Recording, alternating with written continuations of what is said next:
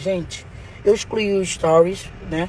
Pra não ficar alimentando ódio aqui nas minhas redes sociais. Não é isso que eu quero. Eu não quero que ninguém vá atacar Lucas ou, ou, ou faça hater com ele, ou xingue ele na rua. Não é isso. Não é isso que eu quero, tá? Eu peço encarecidamente para vocês, por favor, não faça isso. Vai, já vai estar tá na mão de quem tem que resolver, tá? É, eu vim falar porque eu não estava aguentando mais, porque eu fui colocada de vilã, é, mulheres me xingaram aqui, homens me xingaram, eu vi muita coisa calada, me mantive calada por conta da minha equipe, por conta do meu trabalho. Só que assim, tem uma hora que você explode, e ontem foi meu dia de explosão que eu não ia aceitar, ficar quieta ouvindo certos tipos de coisas. E é isso, por favor, não façam nada tá? Não xingue, não faça nada. Quero que ele seja muito feliz, que ele siga a vida dele, entendeu?